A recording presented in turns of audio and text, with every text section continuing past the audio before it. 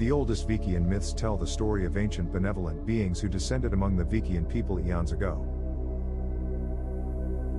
The Vekians received fire from them as well as information about the origins of life on their home world, the moon Vekia. The ancient tales go this way.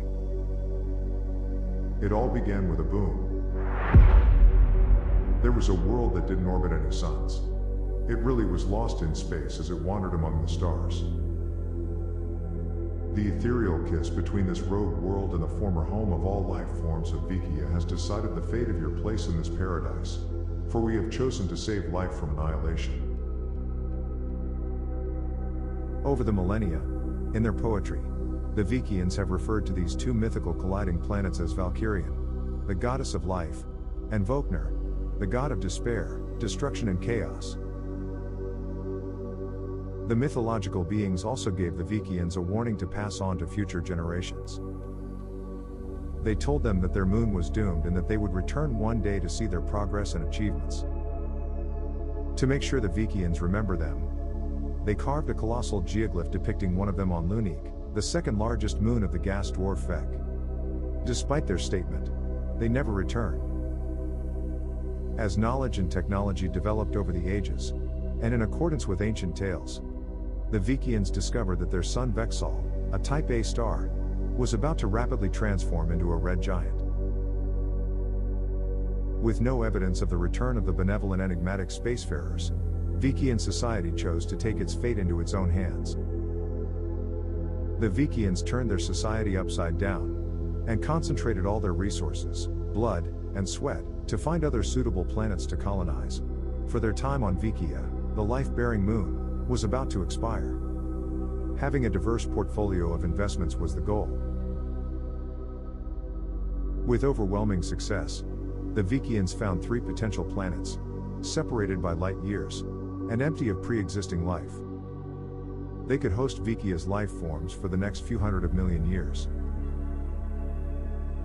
But now they must properly catalog and register the species of each biome before they can be loaded onto the arks that are about to commence their journey towards the three new worlds.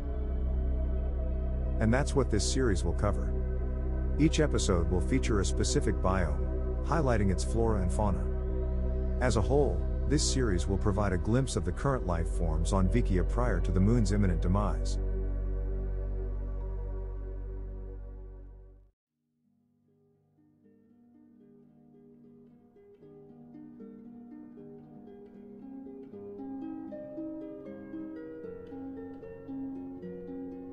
So, let's start this series with a tour of the Vexal system. It is located somewhere in the vast unknown of space, and is found in a remote corner of a spiral galaxy. Vexal is an A-type star.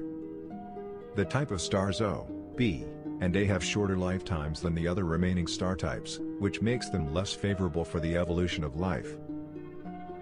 Vexal has a mass of 1.9 suns and a luminosity of 16. It is currently at the end of its life as a blue star. Nine planets are in the orbit of Vexal.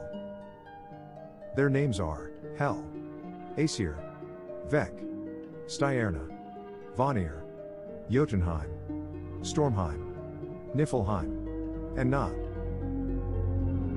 Only Vek and its moons are in the Goldilocks.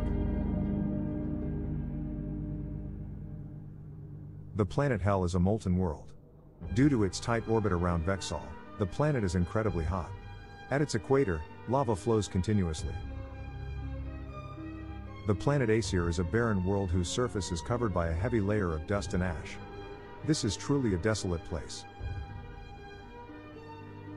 Vek is a gas dwarf of blue color. One of its moons, Vekia, is fascinating since it is a paradise world.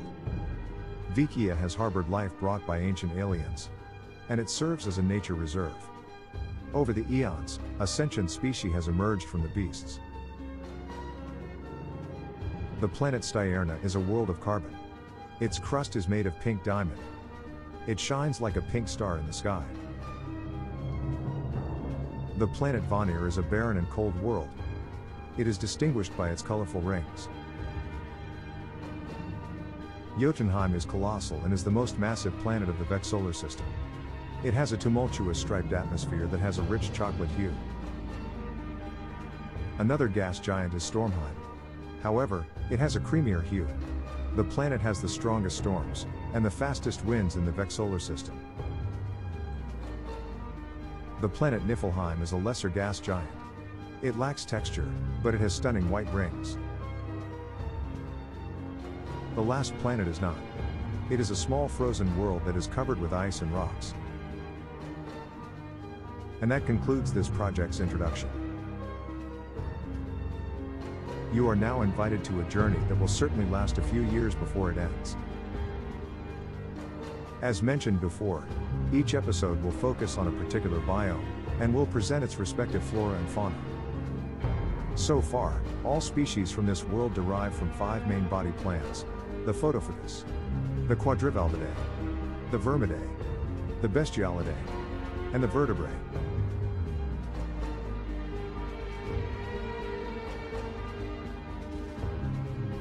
Introducing Species of Vekia.